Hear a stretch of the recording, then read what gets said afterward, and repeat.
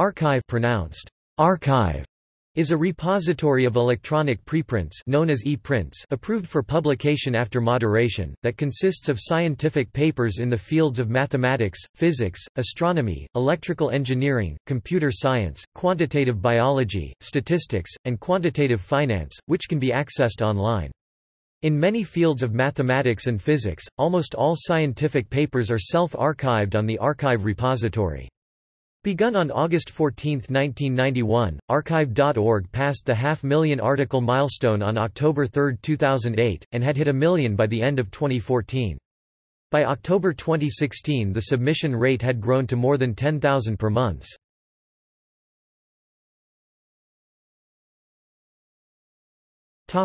History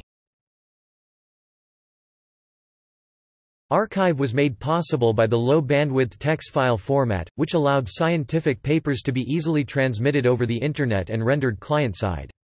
Around 1990, Joanne Cohn began emailing physics preprints to colleagues as text files, but the number of papers being sent soon filled mailboxes to capacity. Paul Ginsparg recognized the need for central storage, and in August 1991 he created a central repository mailbox stored at the Los Alamos National Laboratory which could be accessed from any computer. Additional modes of access were soon added, FTP in 1991, Gopher in 1992, and the World Wide Web in 1993.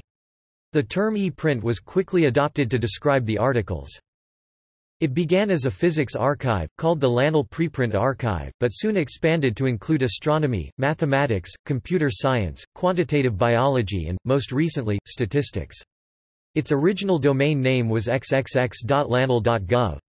Due to LANL's lack of interest in the rapidly expanding technology, in 2001 Ginsparg changed institutions to Cornell University and changed the name of the repository to arXiv.org. It is now hosted principally by Cornell, with eight mirrors around the world. Its existence was one of the precipitating factors that led to the current movement in scientific publishing known as open access. Mathematicians and scientists regularly upload their papers to arXiv.org for worldwide access and sometimes for reviews before they are published in peer-reviewed journals. Ginsparg was awarded a MacArthur Fellowship in 2002 for his establishment of arXiv.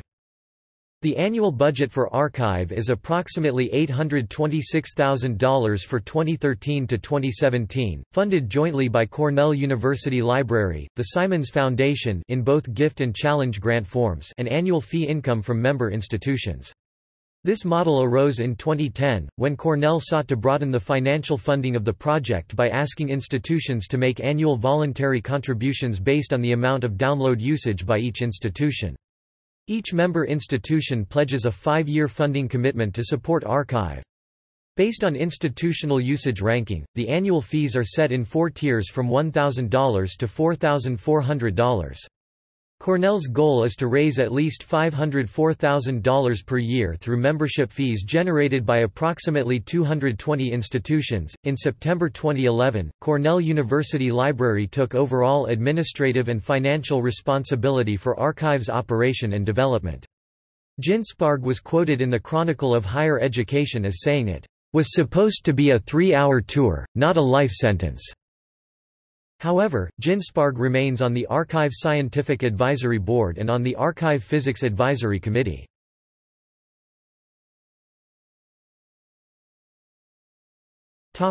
Moderation process and endorsement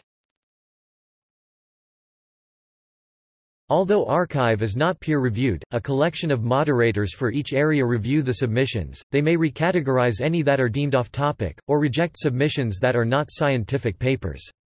The lists of moderators for many sections of arXiv are publicly available, but moderators for most of the physics sections remain unlisted. Additionally, an endorsement system was introduced in 2004 as part of an effort to ensure content is relevant and of interest to current research in the specified disciplines. Under the system, for categories that use it, an author must be endorsed by an established arXiv author before being allowed to submit papers to those categories. Endorsers are not asked to review the paper for errors, but to check whether the paper is appropriate for the intended subject area. New authors from recognized academic institutions generally receive automatic endorsement, which in practice means that they do not need to deal with the endorsement system at all. However, the endorsement system has attracted criticism for allegedly restricting scientific inquiry. A majority of the e-prints are also submitted to journals for publication, but some work, including some very influential papers, remain purely as e-prints and are never published in a peer-reviewed journal. A well-known example of the latter is an outline of a proof of Thurston's geometrization conjecture, including the Poincaré conjecture as a particular case, uploaded by Grigori Perelman in November 2002.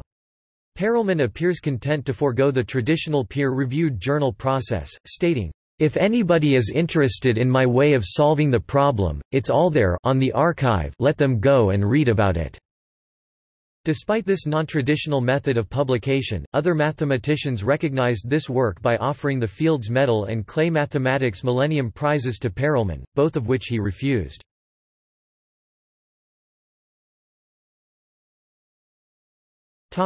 Submission formats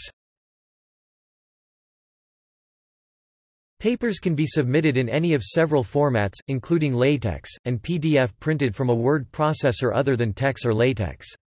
The submission is rejected by the arXiv software if generating the final PDF file fails, if any image file is too large, or if the total size of the submission is too large. arXiv now allows one to store and modify an incomplete submission, and only finalize the submission when ready. The time stamp on the article is set when the submission is finalized.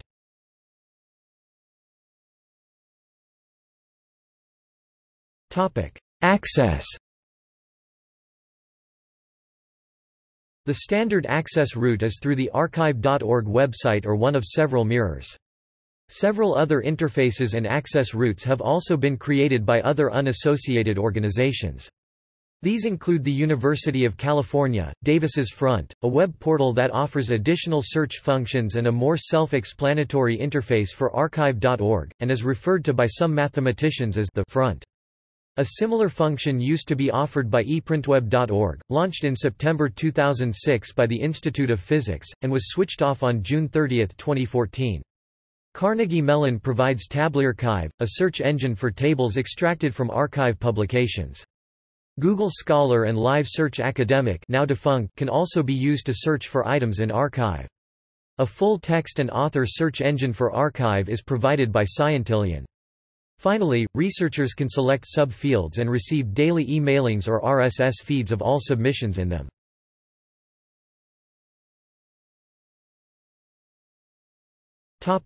Copyright status of files Files on arXiv can have a number of different copyright statuses. Some are public domain, in which case they will have a statement saying so. Some are available under either the Creative Commons 3.0 Attribution Sharealike license or the Creative Commons 3.0 Attribution Noncommercial Sharealike license. Some are copyright to the publisher, but the author has the right to distribute them and has given arXiv a non-exclusive irrevocable license to distribute them.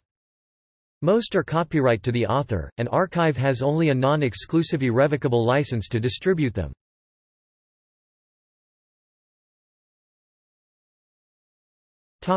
Controversy While arXiv does contain some dubious e-prints, such as those claiming to refute famous theorems or proving famous conjectures such as Fermat's last theorem using only high school mathematics, they are surprisingly rare. arXiv generally reclassifies these works, e.g. in general mathematics, rather than deleting them. However, some authors have voiced concern over the lack of transparency in the arXiv screening process.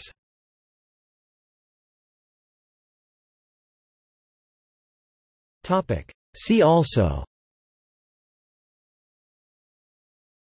bioRxiv require preprints not yet accepted by any journal.